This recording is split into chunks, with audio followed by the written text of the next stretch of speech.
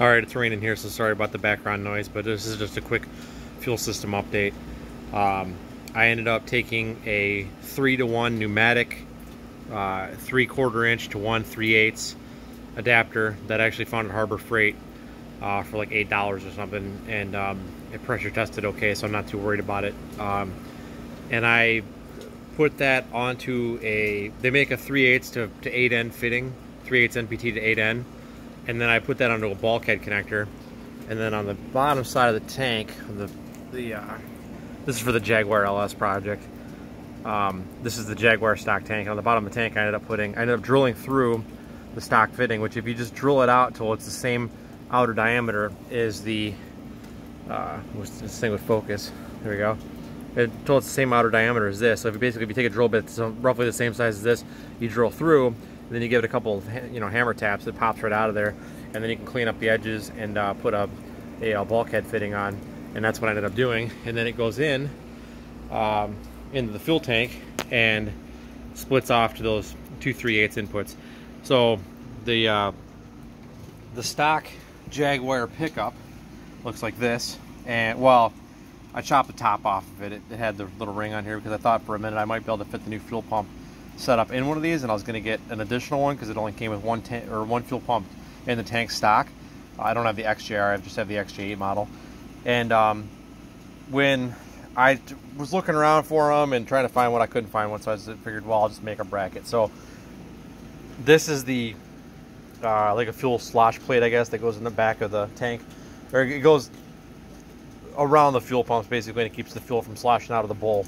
Uh, so what I ended up doing was I'm going to twin Walbro 450 pumps and I ended up making this aluminum bracket, which you can see it's definitely a homebrew project, the cut marks and everything in it and the welding. But um, what it does is it clamps the pumps in place and then it also has, just for added protection I guess, uh, two little aluminum tabs welded onto it that I just throw a hose clamp on just to make sure the pump can't move around up or down.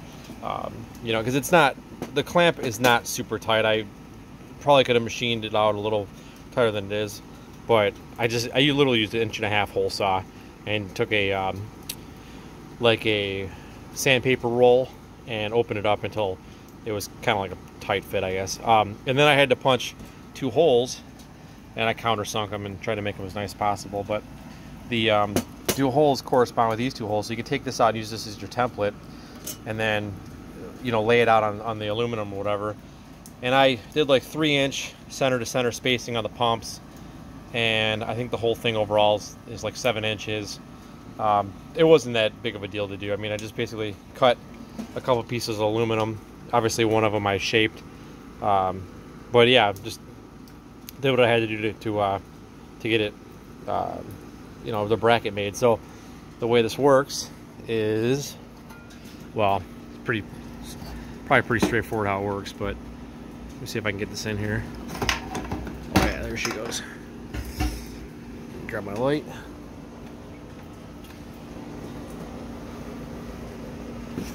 The pumps are going to sit like. Well it's gonna be close enough. Oh close enough for the video anyway. But that's kind of how they're gonna sit. You can see where the hole is the other the uh, hole in the factory tank. And then uh, you know it's way out of out of tilt right now but um, they're gonna sit in the stock bowl and the bracket's gonna work to keep everything lined up where it needs to go. And then the two lines will just go into the single, or I'm sorry, the two lines will go into the into the splitter, and then that'll go to the uh, single eight end. So, um, so far that's what I've got. I'm gonna put it all together, and uh, you know, leak test it. Okay, pumps are in. Everything mechanically is tight. got the uh, bracket bolted down to the stock fuel tank holes, and I ended up using a couple stainless bolts.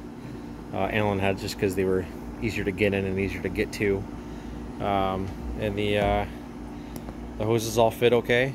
So I'm happy with that. I got to put the return back on, little, I don't know what that thing is, a buffer or something I suppose, but I still got to wire it up. But uh, all in all, everything's good, uh, minus wiring and the fuel hat. And uh, one thing I did want to touch on was, um, sorry, it's dark out now, so I'm using a flashlight, but uh, make sure you get submersible fuel line when you put pumps in. Uh, if you guys decide to do a, you know, if you're even updating the XJR, um, otherwise you will be back in the tank within probably a couple months. This, the uh, the fuel line that's not submersible, uh, it eats through real fast. And this stuff's really expensive. It's about 25 bucks a foot, but it's worth every penny compared to having to take your fuel tank out again. So uh, just kind of a heads up. So anyway, I'm gonna get this thing wired in and uh, I'll take some pictures of everything I've done and put them on the end of the video. And uh, that's pretty much the fuel system upgrade.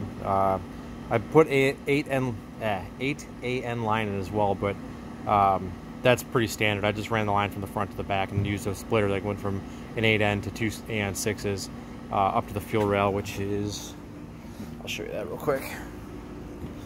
Uh, well, you can kind of see it, but that's uh, that's the splitter, and it takes that 8N line that's coming in down below the cylinder heads there, and then it uh, goes and splits off to the rails. Then I've got the, the uh, regulator I've got, it's an Aeromotive style regulator, and it, oh, I got crap everywhere. That's buried back there, but anyway, it's it's got both lines going into it, and then it uh, it heads back to the tank and the stock uh, return line. So uh, that's it for fuel system upgrades.